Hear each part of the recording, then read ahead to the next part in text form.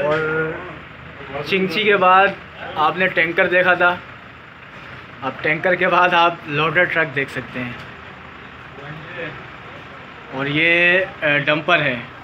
One जेन तस्वीर one जेन दस wheeler. इसकी हालत थोड़ी ख़स्ता हो गई है कि ये भी ऊपर स्टोर में पड़ा हुआ है। अगर ये नीचे होता तो इसके भी फील पूरे होते और मुकम्मल हालत में होता। जब ये बनाया गया था उस वक्त ये रिमोट पे चलता था, इसके अंदर इंजन भी मौजूद है। इसमें इंजन लगाया गया है शाफ्ट लगाई गई है, मुकम्मल जंप सिस्टम है। जैसे कि एक बड़ी गाड़ी में जिस तरीके से दिया जाता है, वो देख सकते हैं आप इंजन मैन एक्सल की शाफ्ट क्या बात है इन भाई की।